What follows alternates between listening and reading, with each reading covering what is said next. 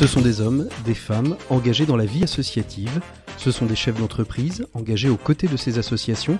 C'est le fonds de dotation Solidarité Grand Ouest et la Banque Populaire Grand Ouest, au travers de sa fondation, qui ont décidé de faire du mois de décembre le mois de l'engagement et d'être solidaires tous ensemble pour pouvoir doter ces associations de plus de moyens. Et vous, vous pouvez vous engager à nos côtés en likant, partageant ce podcast ou en faisant un don sur solidaritégrandouest.fr. Le podcast solidaire, c'est être engagé et confiné. On compte sur vous. Eh bien bonjour à toutes et à tous, je suis très très heureux de vous retrouver dans ce podcast solidaire, ce podcast qui s'intéresse aujourd'hui à la question du handicap et du retour à l'autonomie, question d'autant plus d'actualité que le jour de la première diffusion de ce podcast, nous sommes le 3 décembre, c'est-à-dire le jour de la journée internationale des personnes handicapées. Souvent quand on parle de handicap, on pense rééducation et vous avez bien raison, on peut penser aussi adaptation des lieux de vie, on peut penser aussi accompagnement, mais il est une chose importante qui est la question de comment redonner suffisamment d'autonomie pour permettre à ces personnes de pouvoir euh, retrouver un emploi, se réinsérer dans la vie professionnelle. C'est ce que nous allons voir avec nos invités. Ils sont nombreux autour de cette table ronde numérique puisque nous faisons tout en distanciel. Il y a d'abord euh, celle qui porte ce projet qui est le professeur Brigitte Perroin-Verbe. Bonjour euh, madame le professeur. Vous êtes donc chef du service de médecine physique et de réadaptation du CHU de Nantes et à la tête d'un projet assez hors norme qui est la construction d'un bâtiment tout neuf qui accueillera euh, ce pôle de médecine physique et de réadaptation. Et nous verrons avec vous, au-delà de l'aspect innovant de ce centre, les besoins particuliers pour lesquels vous avez sollicité la générosité des auditeurs et celui du Fonds de dotation Solidarité Grand Ouest. À vos côtés, euh, nous avons euh, Yves-Olivier Lenormand, président du GIRP, qui est le groupement interprofessionnel régional pour la promotion de l'emploi et du handicap. Merci beaucoup Yves-Olivier d'être à nos côtés. Et puis deux de vos ambassadeurs, Vincent Guerlet, chocolatier bien connu sur la place de Nantes, et euh, Lionel Fournier, directeur régional d'Harmonie Mutuelle et président de l'association des dirigeants responsables de l'Ouest. Bonjour à tous. Avec vous, tous les trois, nous allons essayer, tous les quatre, pardon, nous allons essayer de mieux comprendre comment redonner de l'autonomie aux personnes avec un handicap. Je rappelle que vous pouvez, en partageant et likant ce podcast, permettre de gagner, de faire gagner des euros supplémentaires à toutes les associations soutenues par le Fonds de dotation Solidarité Grand Ouest. Eh bien, je crois que nous avons fait les présentations. Allez, c'est parti, on compte sur vous. Et on commence avec vous, euh, Brigitte Perroin-Verbe. Euh, je rappelle à nos auditeurs comment ça fonctionne. Hein. Pendant 10-12 minutes, on va échanger avec vous sur votre action euh, au sein du service de médecine physique et de réadaptation du CHU de Nantes. Et puis, nos trois autres interlocuteurs interviendront dans la deuxième partie, après la pause musicale, pour nous transmettre leur effet miroir, ce qu'ils ont ressenti, comment pour eux le handicap s'inscrit euh, dans leur vie personnelle et dans leur vie euh, professionnelle et pourquoi euh, ils soutiennent votre action. En quelques mots, est-ce que vous pouvez nous présenter ce qu'est votre service de médecine physique et de réadaptation? Oui, alors puisqu'un service, c'est un pôle hospitalo-universitaire de médecine physique et réadaptation avec une grande valence historique tournée vers la prise en charge du handicap neurologique grave, les lésions cérébrales, les lésions de la moelle épinière, qu'elle soit d'origine médicale ou traumatique. On les prend en charge dès la phase aiguë, puis évidemment pour euh, leur rééducation, l'idée est de soit d'aider à la restauration des fonctions, soit de développer le maximum d'autonomie, euh, quelles que soient les séquelles euh, qui restent. Et puis bien sûr, on les suit tout au long de leur vie pour répondre à tous leurs besoins de ça, c'est la, clé de votre, de votre service, hein, c'est l'accompagnement tout, au long, euh, tout au long de la vie. Euh, dans, votre service, vous n'accueillez que des personnes qui ont été euh, gravement accidentées ou vous avez des personnes qui peuvent naître aussi avec des handicaps qui sont accueillis au, sein de, votre structure? Oui, parce que notre spécificité, c'est évidemment les lésions plutôt acquises, mais on a une expertise dans tout le champ du handicap neurologique. Donc, on voit aussi beaucoup de patients que l'on suit euh, avec des lésions malformatives du système nerveux ou des, accidents, entre guillemets, autour de la naissance. Mmh Alors, une question peut-être un petit peu personnelle, mais pas trop, je vous rassure. Qu'est-ce qui a orienté votre choix euh, de spécialité euh, vers ce qu'on appelait auparavant la rééducation fonctionnelle, aujourd'hui la médecine physique et de réadaptation? Euh, elle est un peu personnelle, mais c'est souvent c'est personnel. C'est pour ça que je pose la question. C'est deux, deux, choses. Euh, il se trouve que moi-même j'ai eu un accident de voie publique quand j'étais en deuxième année de médecine. Euh, il y a maintenant fort longtemps. Et euh, à cette occasion, euh, j'ai rencontré celui d'ailleurs qui a créé la médecine physique et adaptation à Nantes, qui était le professeur Maté, mmh. et qui se formait à la prise en charge des lésions de la moelle épinière.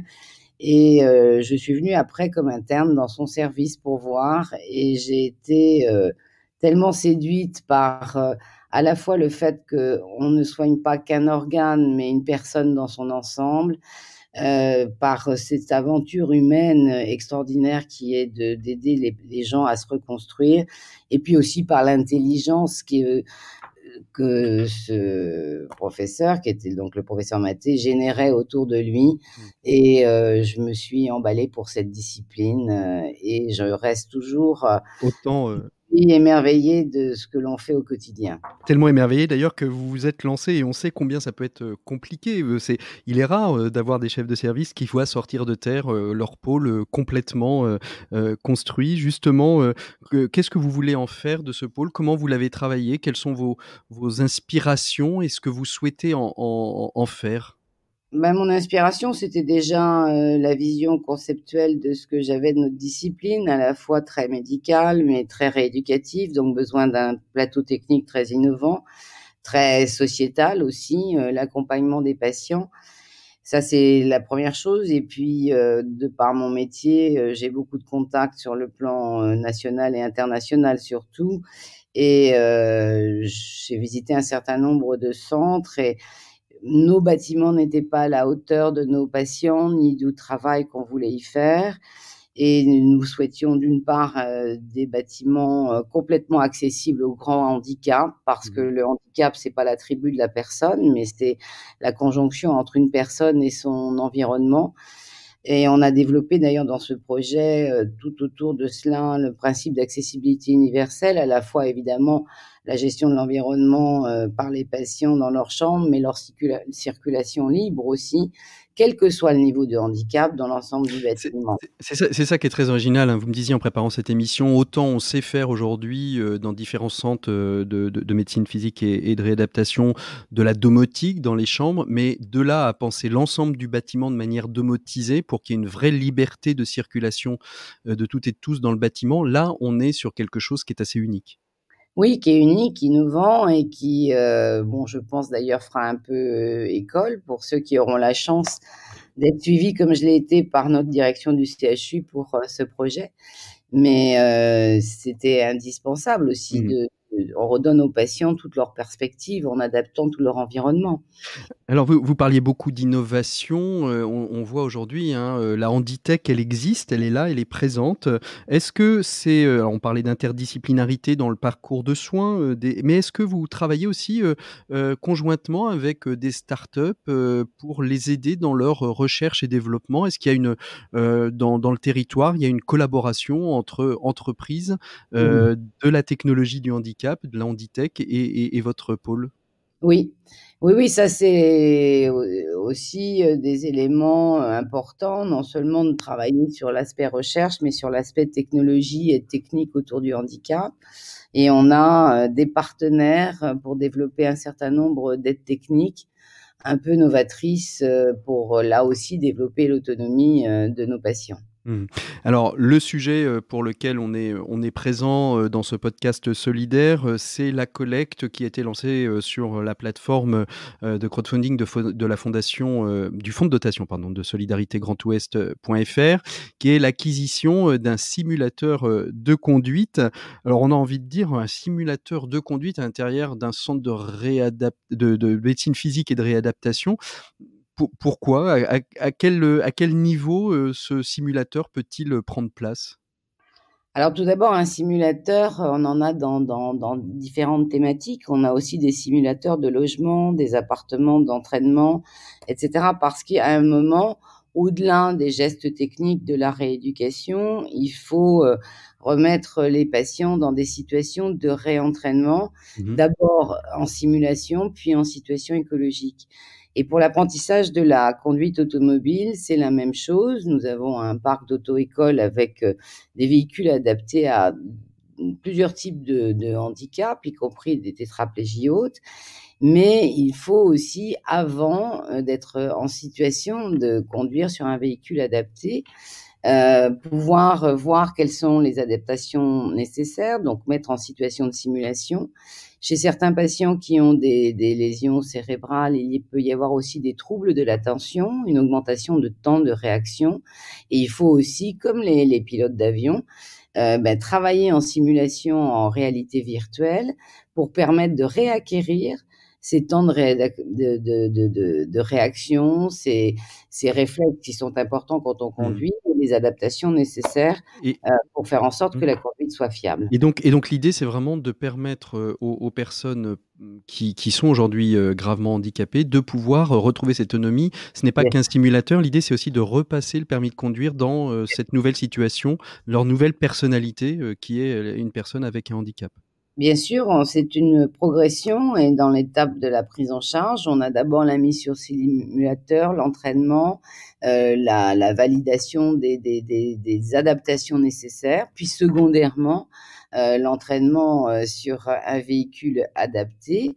Puis, évidemment, l'objet ultime, c'est de repasser le permis de conduire euh, et le financement pour le patient d'un véhicule adapté à ses capacités de conduite. Alors, c'est une demande du patient ou ça fait partie du parcours de, de, de réadaptation suite, suite au handicap? Ou est-ce que c'est le patient qui va demander cette, de, de, pouvoir se rééduquer à, à pouvoir conduire? Ah ben non, c'est un, programme systématique chez tous ceux dont on pense qu'ils vont pouvoir reconduire de le faire.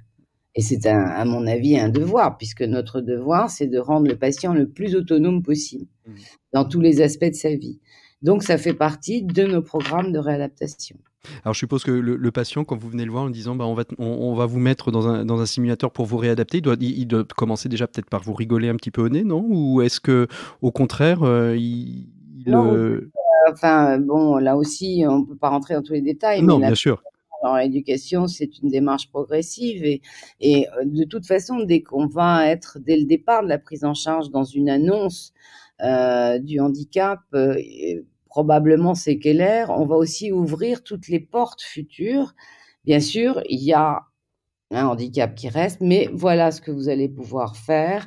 On va euh, faire en sorte que vous soyez le plus autonome possible, que vous retrouviez une vie sociale, que vous retrouviez, si possible, parce que ça c'est important, euh, une activité professionnelle euh, et on vous redonnera aussi les possibilités de conduire. Bien sûr, ça fait partie de l'ensemble du programme. Et les patients, non, ne nous rient pas au nez, ils sont souvent, ils sont évidemment partants et demandeurs du plus d'autonomie possible. Mmh. Mais peut-être qu'ils ne s'imaginaient pas possible, euh, peut-être, de, de, pouvoir à un moment ah, donné retrouver cette autonomie de conduite qui, on le sait aujourd'hui, quelle que soit, euh, quelle que soit la personne, hein, que ce soit la personne illettrée jusqu'à la personne handicapée, la conduite fait partie aujourd'hui de la sociabilité du monde, dans, la, dans, dans le monde. Bah, vous savez, quand les gens arrivent ici, ils ont souvent euh, une, peu d'idées de ce que l'on peut euh, leur apporter. D'abord, ils sont dans un état de sidération et puis ensuite, ça va être une progression. Et puis, euh, lorsqu'on n'a pas été confronté, soit ou par des proches, à la problématique du handicap, on ne se rend pas compte souvent des capacités et performances que l'on peut redonner mmh personnes euh, dites handicapées. Alors vous, le disiez aussi, hein, ce, simulateur, il permet aussi euh, de d'entraîner parce que vous pouvez avoir des personnes qui euh, ont eu des traumatismes crâniens mais qui peut-être ont encore toute leur mobilité, en revanche qui ont des pertes d'attention. Ce simulateur permet aussi de travailler sur cette capacité à conduire dans un état qui pourrait être dangereux s'il n'était pas accompagné s'ils n'étaient pas réentraînés et qu'on les mettait d'emblée sur euh, une conduite euh, en situation écologique, oui. Donc ce simulateur, il est à la fois objet d'évaluation, mais objet de réentraînement et de rééducation, euh, quel que soit le trouble présenté, quand on pense qu'il y a une possibilité d'amélioration, bien mmh. sûr. Alors, question très pratique, avant que nous fassions une pause musicale, ça coûte combien un simulateur? Euh, ben, le simulateur euh, sur lequel euh, on porte notre attention. Oui, notre attention coûte 69 000 euros. Donc 69 000 euros, c'est euh, c'est ce qu'il vous faut pour l'acquérir. Aujourd'hui, il y a une collecte sur solidaritégrandouest.fr à hauteur de 30 000 euros.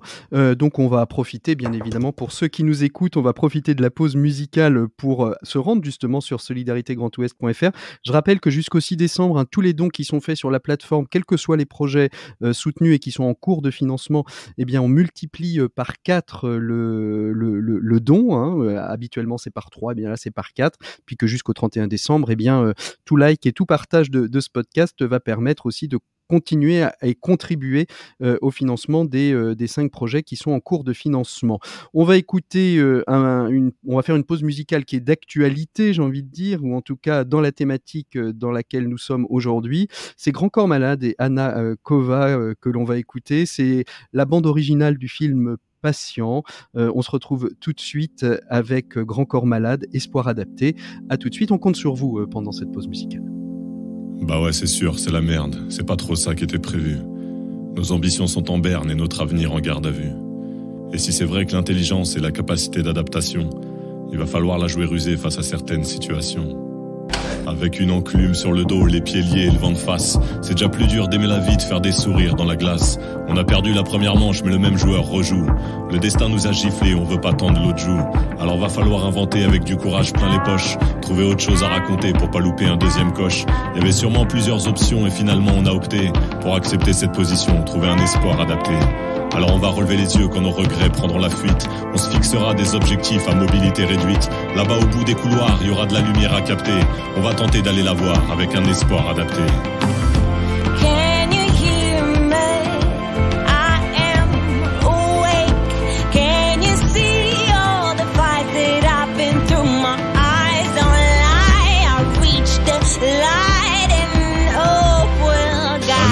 C'est l'envie de croire qui résiste. Même en milieu hostile, c'est la victoire qui existe. Ces cinq potes un peu perdus qui tentent de battre encore des ailes. C'est retrouver le bout de la sueur entre deux barres parallèles. Un espoir adapté, c'est de l'espoir bousculé. Parce qu'on est dos au mur, il n'y a plus de place pour reculer. Comme un instinct de survie, on pense encore à avancer. À la fin de quelque chose, il y a bien un truc à commencer. Après avoir nagé au cœur des points d'interrogation, on va sortir de la torpeur, certains diront reconversion. Là-bas au bout des couloirs, il y aura de la lumière à capter. On va tenter d'aller la voir avec un espoir adapté. been trying to let it go, been trying to free my soul, but all the friends that I have lost and all the that I have left, my body embodies all my sorrows, my bones nothing more than to feel my heart bounded. I'll hold on to this second chance, I'll breathe. Retrouver un espoir sans oublier ceux qui saignent, car dans cette quête on n'est pas tous logés à la même enseigne. Moi j'ai eu ma deuxième chance et même si je peux la rendre belle, je pense souvent à la tristesse du dernier sourire de Noël. Un espoir adapté, c'est faire le deuil de tous les autres. Sourire encore, ne serait-ce qu'en hommage à tous les nôtres. Ceux qui étaient là, qui m'ont porté au propre comme au figuré. Ceux qui ont adapté leur vie pour rendre la mienne moins compliquée.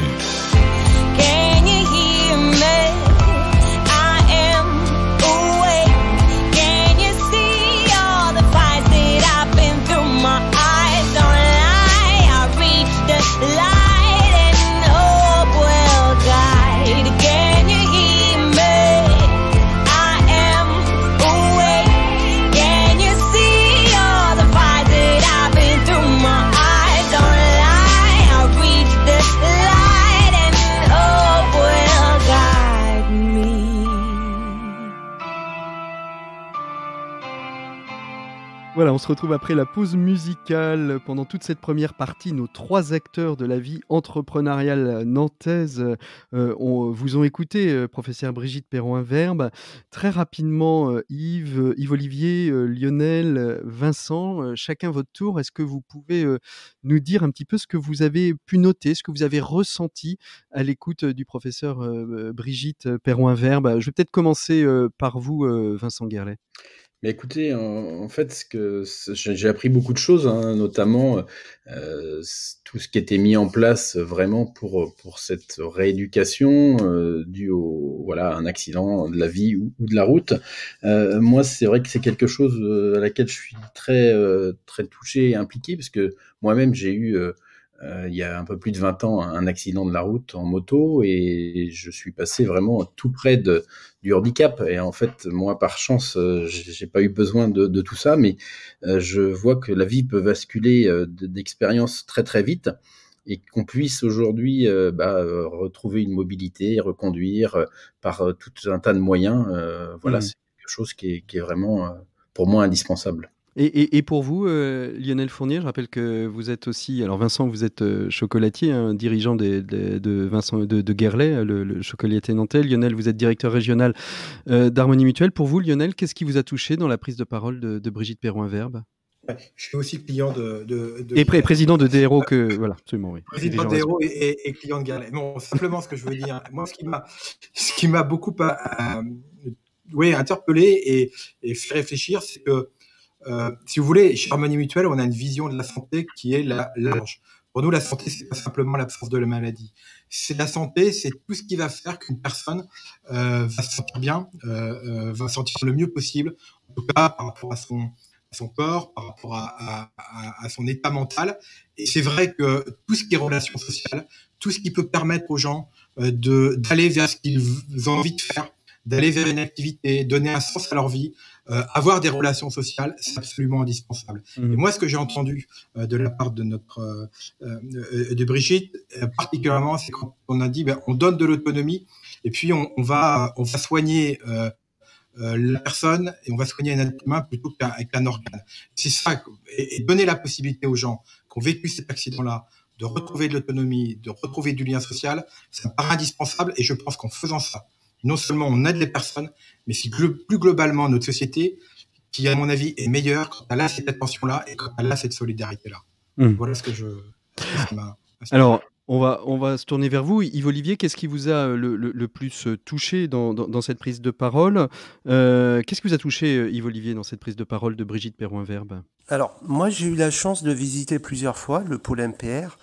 Et en fait, ce qui me touche, c'est vraiment le, travail formidable qui est accompli par les équipes du professeur Perroin-Verbe.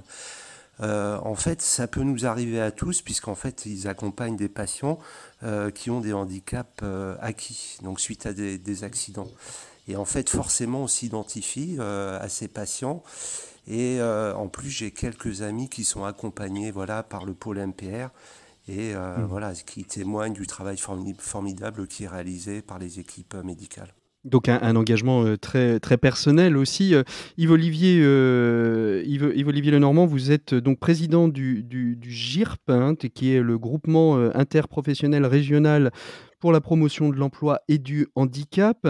en quelques mots très rapides, c'est, pour, pour nos auditeurs, ça regroupe quoi le GIRP C'est quoi l'action du, du, du GIRP Alors le, le, GIRP Pays de la Loire est connu notamment en Loire-Atlantique parce qu'il porte le cap emploi. Euh, qui accompagne les demandeurs d'emploi en situation de handicap. C'est aussi une association qui accompagne euh, les employeurs euh, sur leur, politique inclusion. Et puis, c'est une association qui est très engagée dans le programme La France une chance, les entreprises s'engagent.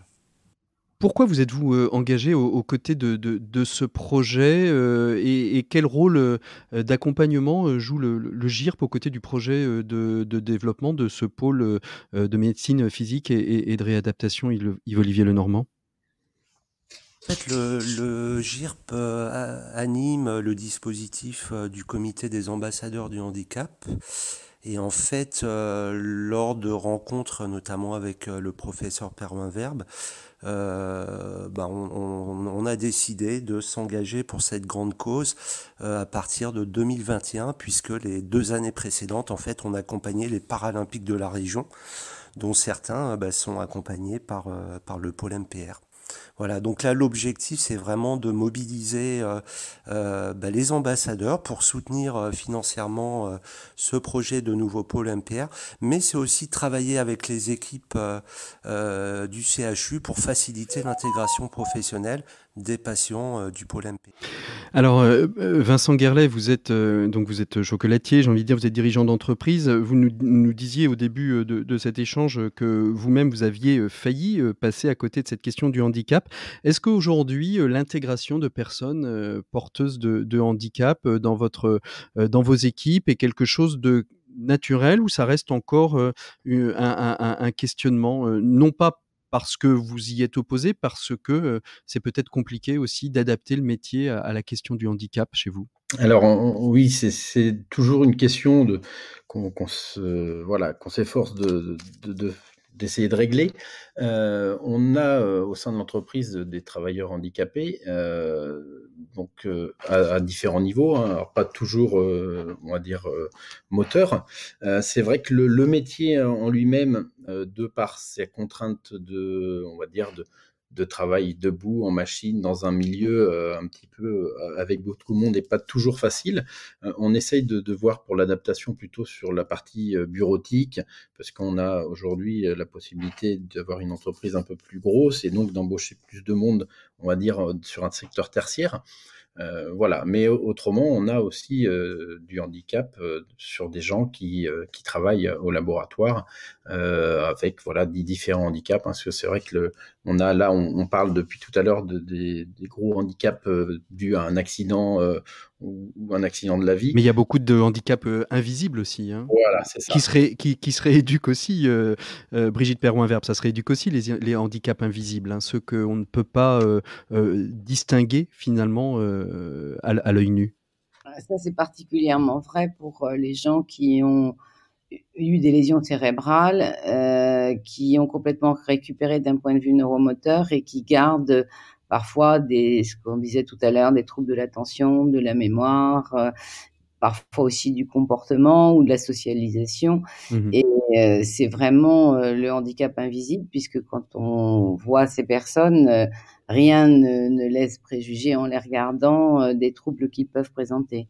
Bien sûr que ça se rééduque. Mmh euh, Lionel, euh, Lionel Fournier, vous êtes donc directeur régional donc d'Harmonie Mutuelle, mais surtout et aussi président des dirigeants responsables de l'Ouest.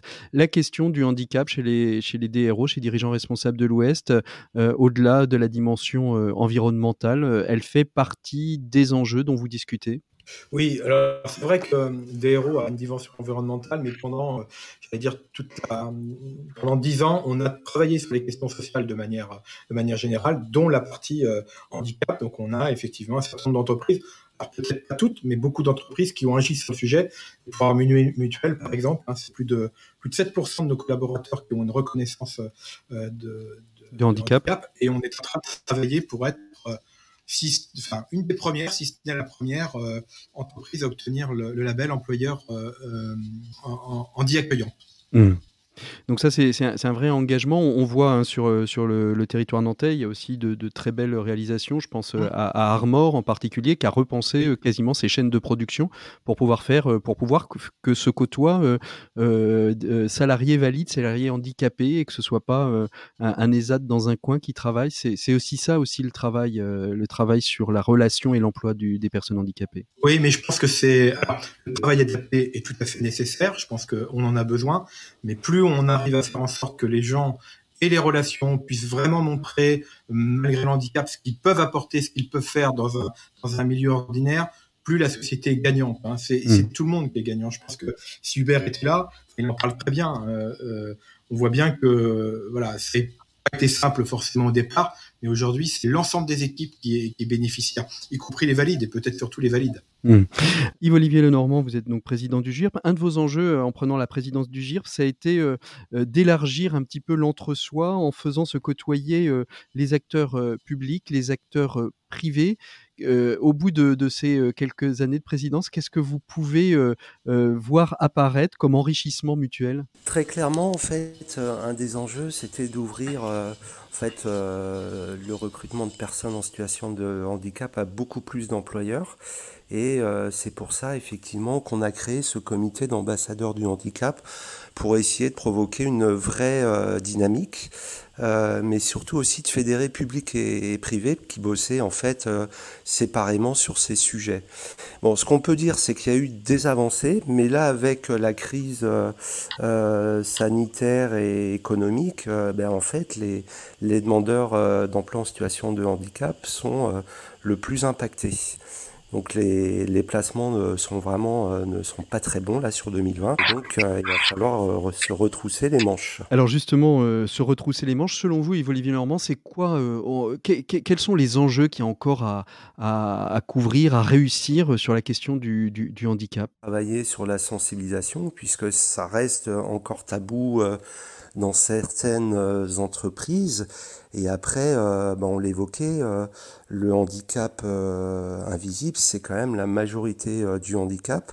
Et il y a certains handicaps pour lesquels il faut vraiment se mobiliser, notamment tout ce qui est handicap psy, pour lequel ça reste quand même assez compliqué, en milieu dit ordinaire. Alors on va, on va conclure euh, euh, ce podcast avec vous, euh, Brigitte Perroin-Verbe. Hein. le mot de la fin est pour vous. on l'aura compris, le simulateur de conduite est, important. vous nous avez dit qu'il y avait d'autres simulateurs dans le, pôle de, médecine physique et, de réadaptation que, vous dirigez. Pour vous, au-delà de ce simulateur, quels sont encore les défis auxquels vous devez faire face pour l'éclosion de votre nouveau bâtiment et qu'il prenne toute son ampleur et toute sa place dans une réussite soignants euh, et, territoires Alors, le défi, c'est de continuer à, poursuivre l'équipement du plateau technique parce qu'on parlait du simulateur, mais on a aussi développé pour ce projet beaucoup de techniques et de technologies innovantes pour la rééducation, la rééducation robotisée, la rééducation en immersion virtuelle. Et euh, tout cela a, un coût euh, euh, important. L'idée était vraiment de, de, de, développer toutes ces technologies mmh. innovantes pour être à la hauteur de nos patients et leur donner le plus de chances possible de retrouver une autonomie quelle qu'elle soit. Puis je voudrais rebondir sur deux sujets. Vous parliez de, de l'emploi et de la et Lionel Fourlier parlait de, de, de la richesse euh, que pouvaient apporter des, des, personnes euh, en situation de handicap. Euh, je crois qu'il faut aussi rappeler qu'on a peut-être en France une vision trop latine du handicap avec un attribut de la personne et mmh. on a du mal à, à, à, considérer que toutes les personnes sont des personnes à part, à part entière avec une égalité des droits et des chances et qu'il faut, en adaptant permettre aux gens d'exprimer leurs capacités et performances. Mmh. Et puis, je voudrais aussi euh, ajouter un mot parce que je voudrais remercier les trois personnes qui sont présentes ici. Euh, Yves Olivier, bien sûr, euh, parce que il a une capacité à fédérer autour de lui, et je le remercie. Euh, il le sait, mais de son engagement à nos côtés et de la formidable action qu'il met en place pour l'année à venir pour le pôle de MPR. Et puis, bien sûr, euh, Vincent Guerlet et Lionel Fournier pour être euh, là aujourd'hui et partenaires avec nous. Et euh, j'espère qu'on va non seulement continuer, il y a effectivement les besoins de ce nouveau pôle, mais il y a aussi des partenariats à construire. À construire autour de toute la vie, y compris au niveau de et mm. merci à vous tous d'être avec nous euh, sur ce projet. Merci beaucoup euh, à vous quatre d'avoir été présents. Merci euh, professeur Brigitte Perroin-Vert, merci Vincent Guerlet, merci Yves-Olivier Lenormand, merci Lionel Fournier d'avoir été présent. Je rappelle que jusqu'au 6 décembre, vous pouvez vous rendre sur la plateforme de Solidarité Grand Ouest, faire un don et que ce don est multiplié par 4 jusqu'au 6 décembre et que tout like, tout partage de ce podcast va permettre d'accroître la petite cagnotte. On peut être donc engagé et confiné, c'est un peu le maître mot de ce podcast ce podcast solidaire. On se retrouvera nous euh, dans une prochaine, dans un prochain épisode euh, du podcast solidaire. D'ici là, portez-vous bien, aidez-nous, on compte sur vous.